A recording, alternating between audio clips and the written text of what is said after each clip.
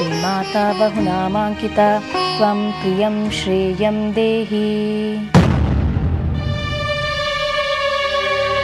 ಅಮ್ಮ ಲಾವಣ್ಯ ಅಮ್ಮ ನಿಮಗೆ ಅನ್ಯಾಯ ನಡೆದೋಯ್ತಮ್ಮ ಅನ್ಯಾಯ ನಡೆದೋಯ್ತು ನಾನು ಆನಂದನ ಗೆಳೆಯ ಪಾರಿಜಾತ ಹೂ ತಗೊಂಡು ಇಬ್ಬರು ಬರಬೇಕಾದ್ರೆ ಲಾರಿ ಬಂದು ಆನಂದನ ಗುದ್ದು ಬಿಡ್ತು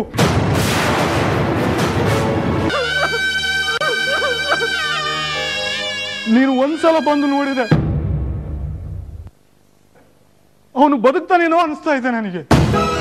ಮೊದಲು ನಡೀರಿ. ಅವ್ರು ಎಲ್ಲಿದ್ದಾರೆ ಅಂತ ತೋರಿಸಿ ನನಗೆ. ನಡಿಯಮ್ಮ ಬಾರಮ್ಮ.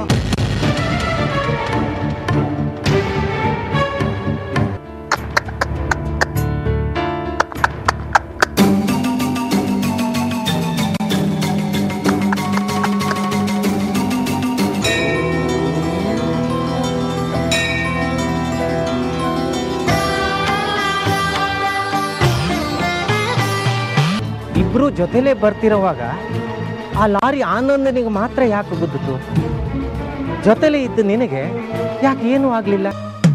ನೋಡಮ್ಮ ನಿನಗೆ ಗಂಡ ಬೇಕನ್ನೋದಾದ್ರೆ ನನ್ನ ಜೊತೆಗೆ ಬಾ. ನಿಮಗೆ ಐನೂರು ಮಾತೆ ಹೆಚ್ಚನ್ನೋದಾದ್ರೆ ಇಲ್ಲೇ ಇರಿ. ನಾನು ಹೋಗ್ತೀನಿ. ಲಾವಣ್ಯ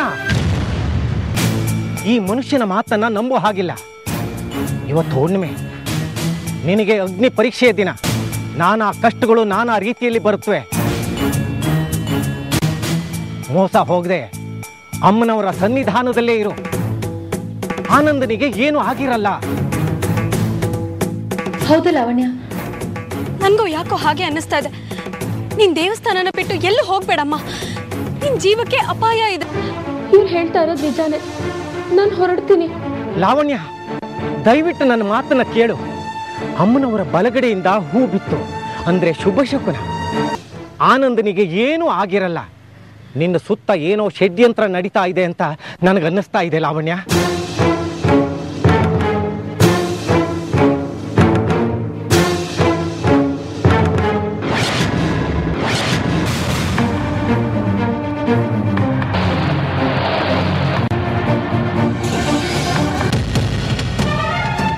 ಹೌದು ಲಾವಣ್ಯ ಐನೋರ್ ಮಾತು ನಿಜ.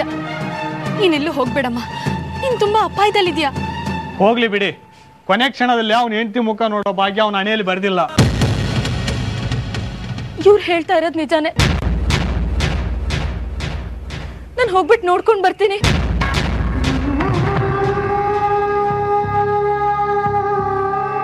ಲಾವಣ್ಯ, ಪ್ರತ್ಯಕ್ಷವಾಗಿ ಕಂಡ್ರು ಪ್ರಮಾಣಿಸಿ ನೋಡ್ಬೇಕು. ಅವಸರ ಪಡಬೇಡ. ಅಲ್ಲವ್ರು ಯಾವ ಸ್ಥಿತಿಲಿ ಇದಾರೋ ಏನೋ. ಅವ್ರಿಗೇನಾದ್ರು ಹೆಚ್ಚು ಕಮ್ಮಿ ಆದ್ರೆ ಆಮೇಲೆ ಪ್ರಾಣ ಇಟ್ಕೊಂಡು ಏನ್ ಮಾಡ್ಬೇಕು ನಾನು? ಅಯ್ಯೋ, ನನ್ ಹೇಳೋದನ್ ಸ್ವಲ್ಪ ನೀನ್ ಹೇಳೋ ಹಾಗೆ ನನ್ ಪ್ರಾಣ ಹೋಗೋದಾದ್ರೆ ಹೋಗ್ಲಿ ಬಿಡು.